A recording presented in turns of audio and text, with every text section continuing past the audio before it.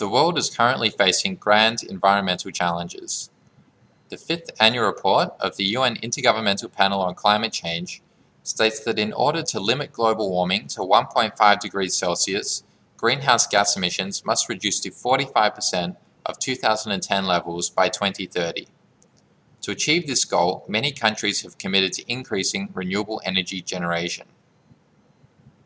However, renewable energy is dependent on nature and inherently uncertain.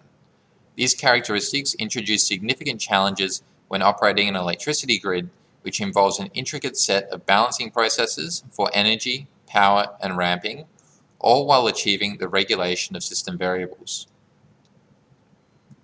The traditional paradigm of using a small number of generators to instantaneously meet the demand of millions of diverse consumers cannot handle the distributed and variable nature of intermittent renewable energy resources.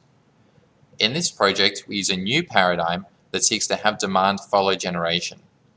In particular, we invent a key power electronics device, the electric spring system, which makes loads contribute to overall balancing within the system. Through using this device, individual households can help smooth out fluctuations arising from the use of intermittent resources, and if used at scale, can assist in increasing the penetration of renewable energy within electricity grids.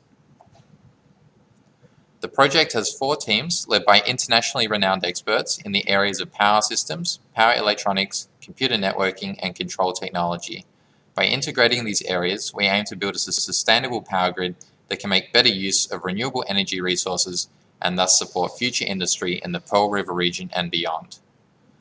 We also collaborate with other researchers towards establishing Hong Kong as a central contributor in the vital area of sustainable electricity supply with benefits for the broader China area.